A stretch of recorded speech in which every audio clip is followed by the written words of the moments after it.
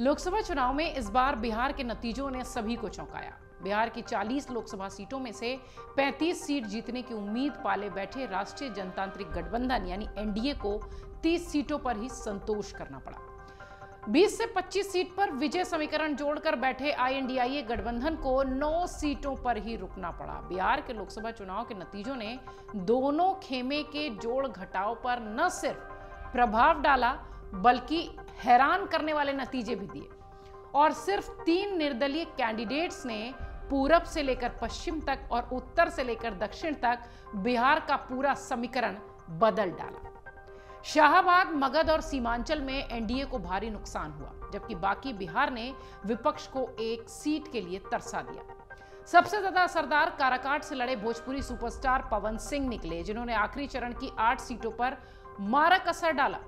इन आठ सीटों में एनडीए के हाथ से छह सीटें निकलकर महागठबंधन की झोली में चली गईं। आरजेडी ने जो चार सीटें जीती हैं, उनमें तीन सीपीआई को मिली है और कांग्रेस को तीन में से एक सीट इसी इलाके में मिली है बीजेपी के मना करने के बावजूद काराकाट में उपेंद्र कुशवाहा के खिलाफ पवन चुनाव लड़ने से इनकार नहीं कर पाए और इस इलाके में कुशवाहा वोटर की नाराज़गी भी आरजेडी को और वामपंथी दलों को और कांग्रेस को ये सब भुनाते हुए वो दिखाई पड़े।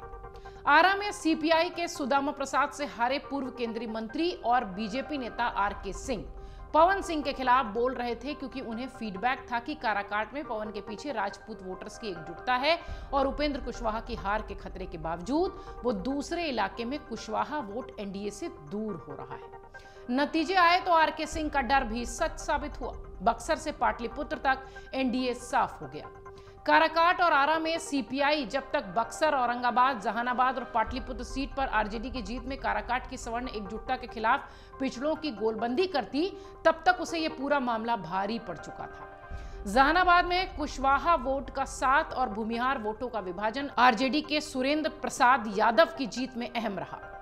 पूर्णिया से पप्पू यादव को पहले लड़ने से रोकने और बाद में हराने की कोशिश में जेडीयू के कैंडिडेट्स तक को वोट करवाने को आतुर दिखे लालू यादव के बेटे तेजस्वी यादव। आपको याद होगा, उन्होंने ये कहा था कि इंडिया को जिताइए या एनडीए को जिता दीजिए, लेकिन ऐसे ही किसी को वोट मत दीजिए। वो पप्पू यादव के संदर्भ में ये बात कर रहे थे, लेकिन उनका ये दाव उल्टा पड़ गया। सीमांचल की चार सीटों में से ये इकलौती सीट बीजेपी जीत पाई। अररिया में बीजेपी के अति पिछड़ा कैंडिडेट प्रदीप सिंह ने आरजेडी के शहनवाज आलम को कई सारे मतों से हरा दिया। बीजेपी का वोट घटने के बाद भी आरजेडी ये सीट नहीं निकाल पाई। पूर्णिया में आरजेडी नेताओं का कथित तौर पर यह कहना कि भले ही एनडीए जीत जाए, लेकिन पप्पू को हराओ, अररिया में बैकफायर कर गया। वहाँ के यादवों ने इस बात को माना कि पूर्णिया में एक यादव को हराने के लिए जब तेजस्वी एनडीए को जिताने को तैयार हैं तो वो बीजेपी को वोट क्यों नहीं कर सकते? पप्पू यादव ने खुद कहा कि आरजेडी उनका साथ देती तो अररिया जीत जाती। सिवान में आरजेडी के टिकट पर कई बार हार चुकी हेना शहाब ने इस बार निर्दलीय लड़ना तय किया। हेना की रणनीति थी कि आरजेडी का सिंबल नहीं होगा तो उनके पति शहाबुद्दीन के साथ रहे सवर्ण भी उन्हें वोट दे देंगे।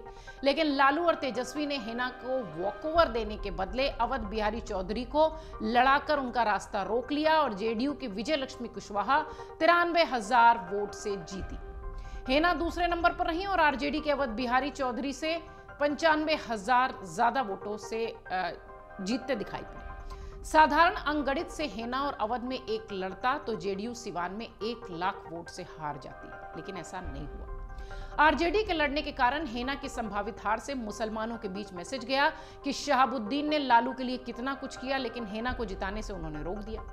हेना की सीट फंसाने के लिए आरजेडी को जिम्मेदार माना गया। आमतौर पर मुसलमान वोट आरजेडी कांग्रेस या वीआईपी के कैंडिडेट्स को ही जाता है, लेकिन शहाबुद्दीन को हीरो की तरह देखने वालों ने अपनी सीटों पर आक्रामक वोटिंग नहीं की। इसी नाराज़गी की सबसे बड़ी वजह और सबसे बड़ा शिकार एक तरीके से कह लीजिए, लालू की बेटी रोहिणी आचार्य हुई, जो बीजेपी के राजीव प्रताप रूडी से हार गई और बहुत मामूली अंतर से हार गई। यहाँ तीसरे और चौथे चरण पर रहे एक यादव और एक मुसलमान निर्दलीय को अलग अलग भी इतने वोट मिले जो रोहिणी की हार के अंतर से ज़्यादा थे। लगभग चौदह के आसपास के वोट से वो हारी थी।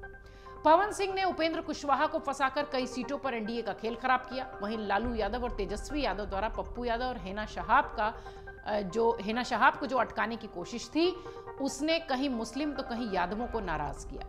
दोनों आरजेडी का कोर वोट बैंक है, जिसमें हिना और पप्पू के कारण पैदा हुई बेरुखी कुछ सीटों पर एनडीए के फ़ायदे में गई। अगर पवन फैक्टर नहीं होता तो जहानाबाद के अलावा शाहजाबाद और मगध की ज़्यादातर सीटों पर एनडीए का दबदबा कायम रह सकता था। वहीं पप्पू और हेना को दबाया नहीं गया होता तो शायद महागठबंधन की दो चार सीटें और बढ़ जाती।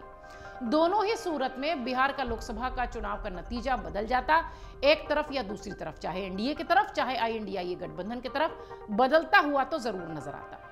वैसे देखा जाए तो महागठबंधन के जीते नौ सांसदों में सिर्फ़ दो कैंडिडेट, एक लाख से ऊपर के मतों से जीते हैं। तीन नेताओं का मार्जिन पचास हज़ार से कम है। दूसरी तरफ़ एनडीए के तीस सांसदों में ज़्यादातर एक लाख से ऊपर के अंतर से लोकसभा पहुँचे हैं। पचास हज़ार से कम मार्जिन वाले सिर्फ़ दो सांसद एनडीए के कैंप में हैं। यानी वोटिंग का जो परसेंटेज जीत हार का रहा है, वो भी बहुत कम रहा है। जो अंतर रहा है, वो भी बहुत कम रहा है। लेकिन अगर आप देखिए तो बिहार के चुनाव परिणाम को इन तीन निर्दलियों ने पूरी तरह से बदल के रख दिया।